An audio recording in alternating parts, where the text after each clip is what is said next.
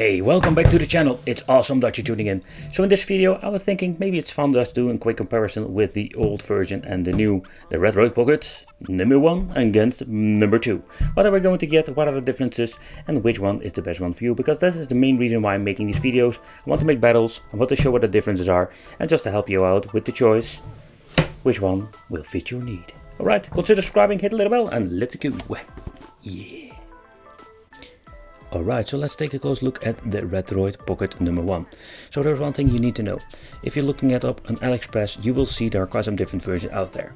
This is the Pandora Games Mini as you can see over here, but the Retroid Pocket number 1 has also a dual boot feature like the Retroid Pocket number 2, but we're going to talk about it a little bit later in this video. But keep in mind also that we're having two versions with the D-pad. They still have this clickish D-pad, but the form factor is quite pleasant. It's completely different and this works very well. Okay, so with this version we're going to get a very nice IPS display. We're having a 6 button layout and I think that was the biggest complaint with this handheld. The form factor I did like it. It is it feels quite sturdy. It, yeah, I must say the shape itself is more like personal taste. I do like it. Some people hated it. But if you're looking at let's say the layout it was not perfect. 6 button layout is not good and I hated that they put a D-pad here in the left top corner because I really do have it over here because I play most of the time with the D-pad. Alright, so let's talk about the Retroid Pocket 2 and this was one big gigantic improvement and I can understand why the people were hyped about this product. Simply because when you're looking at it, it's a completely revision of the old model. We're having two analog stick, the analog stick is just perfect when you're holding it like this. It doesn't, let's say, stick in your thumb, so it works very well. Still we're having the clickies D-pad. The D-pad itself it's very clickish and I don't like it at all. I was not a big fan of it and that's my personal opinion. So having an analog stick, two of them, you don't use them very often, but when you use it, it's very convenient. We're having all the buttons, including shoulder buttons, because with this version we didn't have those. And that are all the minor improvements. We're having two speakers now, with this version only having one. The audio itself is great, and with the dual boot, this is something that is just great, and it is a big improvement over this one. Alright, so what you can see over here, both systems are running on the Retroid Pocket or the Pandora's Box version. So what I did notice, beside the form factor buttons and how comfortable they are and battery life etc etc, we just wanted to focus in this part on the menu and what are we going to get. And I can tell you it's exactly the same when it comes to the gameplay but also the support itself. Alright, so with the Retroid Pocket 1 and 2, we have a possibility to run Sega Dreamcast, but it will be flawed in many ways, with FPS dips, maybe some minor glitches, but in my opinion it's still playable. So that's pretty awesome in my opinion. And even with the 6 button layout, we have more than enough. Then play some fighting games.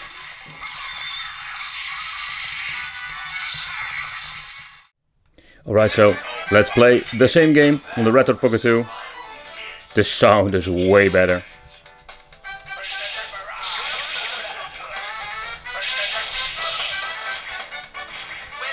But as you can see it still has some glitches on the back and it has the same problems like the previous model.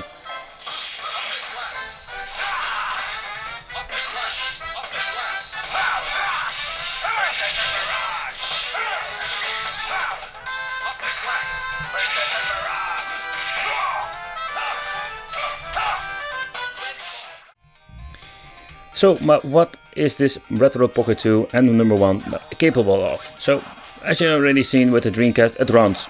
The same goes for the PSP games. Some of the games are running let's say decent enough to enjoy.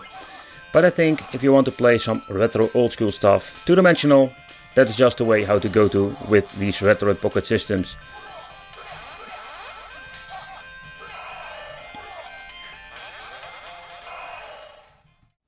Okay, so let's talk about the menu. So when you're holding the home button, here we can go back to the main menu. And only with the Retroid Pocket versions you will have the switch system, where you can basically go back to the Android version, where you can just be free. You let it go, let it free. You know what I'm going to be. I'm going to get into the Retroid Pocket Go. Woo. But okay, there's something I just wanted to show you. So if you're having the Pandora Games Mini that I've shown you in the beginning of this video, yeah, you don't have this option. So when you're pressing the home button and you go back to the main menu or the settings menu, you can see we don't have the options to switch. And that is the difference with the Pandora Games Mini and the version from Retroid. Is it a very, very big problem? Depends what you want to do with it. Because this version doesn't have the Android version, so you can go into the menu and go be doing some messing around. And that is something you need to take consideration. And yeah, it can be a problem if you're searching for it. Okay, so a quick chit chat regarding the menu. So basically we don't have a touchscreen. So that is in Barbum. So with the Android version, yeah, it's fun that you're having an Android version, but we don't have a touchscreen. So we can't play all of the Android games. Some of the games like Minecraft, I did manage to get it working on this version, but you need to have quite some knowledge if it comes to emulators, how to set it up. And for most people just want to grab yourself, let's say a system like this version that you can just plug and play and just enjoy some games. This thing will give you some more freedom, but you need to have the knowledge to mess around with it.